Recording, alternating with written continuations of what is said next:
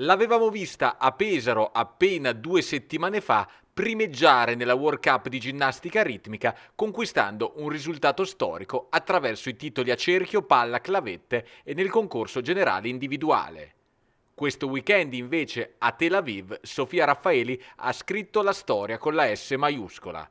La diciottenne di Chiaravalle, portacolori della ginnastica Fabriano, ha infatti vinto il titolo europeo alle clavette al cerchio conquistando l'argento alla palla. Mai un'italiana aveva raccolto titoli europei agli attrezzi.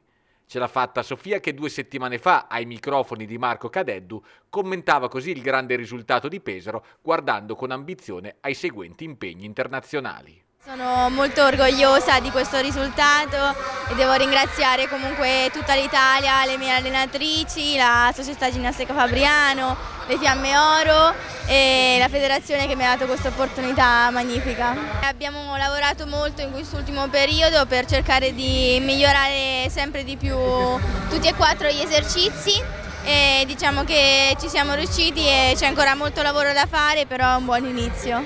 Ecco, i prossimi obiettivi quali sono Sofia?